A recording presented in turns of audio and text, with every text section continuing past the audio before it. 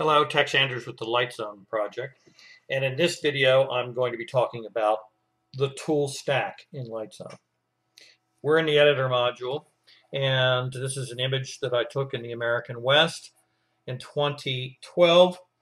Um, and I've started to edit it. It was a raw image, and so the first tools that came out in my editing session were the raw adjustment tool and the raw tone curve tool.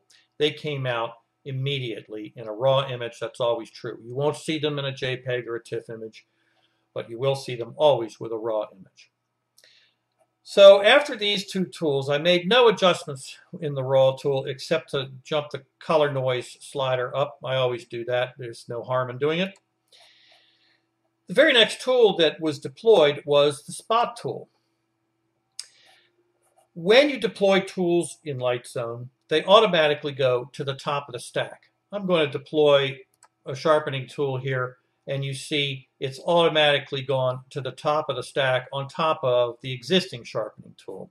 I'm not going to do any more sharpening than I've already done, but that's just to show you that's where tools go automatically. I'll disable this and, and get rid of it.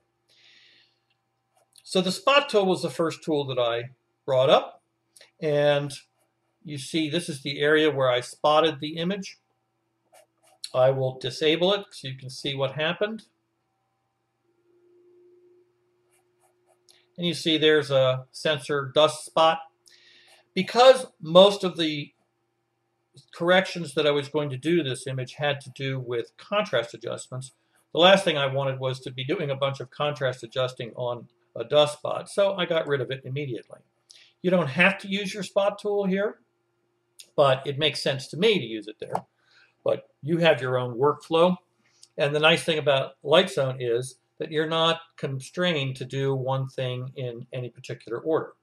So as we saw, when you deploy a tool, it comes up to the top of the tool stack. So when you look at a tool stack, to some extent, it's a record of the order in which you did things, but not exactly because the next tool after the spot tool that I deployed was this relight tool here. So how did this zone mapper tool get between my spot tool and my relight tool? Well, these tools are all their own layer and they all work independently of one another. You're not sharpening this layer, for instance. This is a separate layer, this is a separate layer, this is a separate layer. All the tools are their own layer. And because they're independent of one another, you can move them. Originally, this zone mapper tool, and you can see that it has a region associated with it, and you can see the icon there. This zone mapper tool was somewhere up in this area. It was one of the last things I did. Now, if you look, the sky has changed. In other words, if the zone mapper is up here, it affects the image one way if it's down here,